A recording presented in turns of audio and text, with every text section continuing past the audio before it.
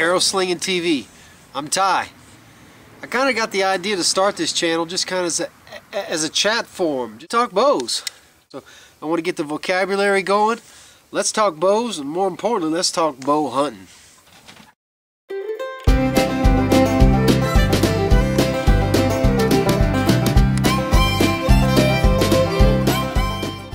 So here's my, uh, my Wasp 2 my Texas Hill Country Brush Country Bows.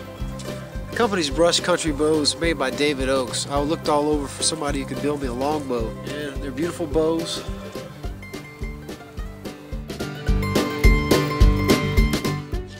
They're cedars that he fletches and uh, with 160 grain field points on them. And I also use 160 grain ace broadheads with this particular bow. Let's fling some at some targets and see what happens. We're going to shoot this deer behind us.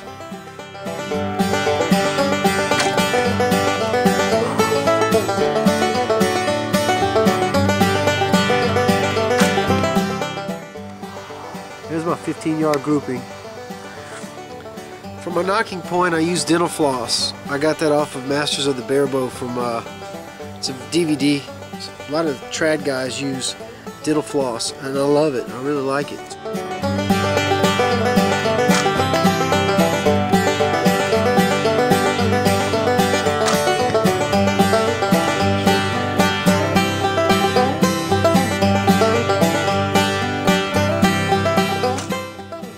Tighter group.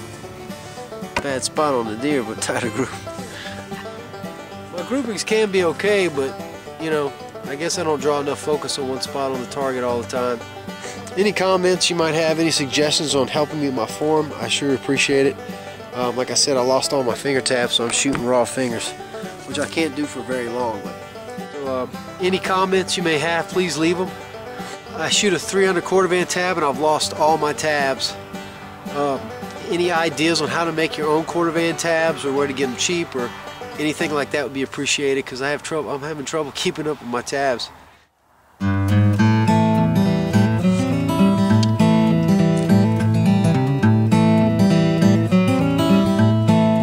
Videos, maybe some bow hunting stuff.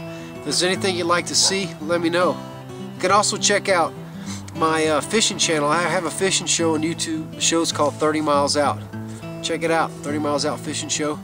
I'd like to do a whole nother bow sector See y'all next time, right here. Same bow time, same bow channel.